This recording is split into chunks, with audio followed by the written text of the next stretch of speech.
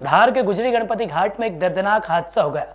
यहाँ एक तेल से भरा टैंकर ब्रेक फेल हो जाने के कारण ट्राले से जा टकराया। हादसे में टैंकर चालक की कैबिन में दबने से मौत हो गई। वहीं पुलिस अभी मामले की जाँच में जुटी है।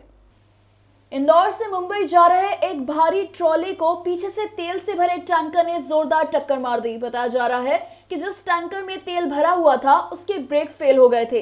इस कारण उसने आगे चल रहे ट्रॉले को जोरदार टक्कर मार दी। हादसे में टैंकर चालक की कैबिन में दबकर मौत हो गई।